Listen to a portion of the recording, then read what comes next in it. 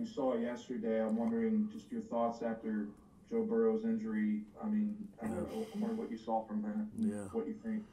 Yeah, it was tough. It was tough to watch, and we all watched it. We felt bad for him. And uh, Joe's a competitor. I texted him today. I know he's going to be back. Uh, I, I know his attitude. He's probably working out today, uh, getting on the next season. I thought he was having, you know, maybe a rookie of the year season. We were very proud of him. We follow Joe. We follow everything he does, like we do all the players in the NFL.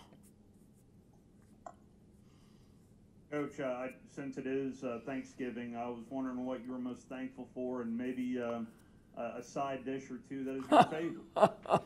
well, I'm most thankful for my family, and thankful for being the head coach at Louisiana State University. Uh, that that has, has been a blessing in my life, and there's no question that oyster dressing is my favorite for Thanksgiving.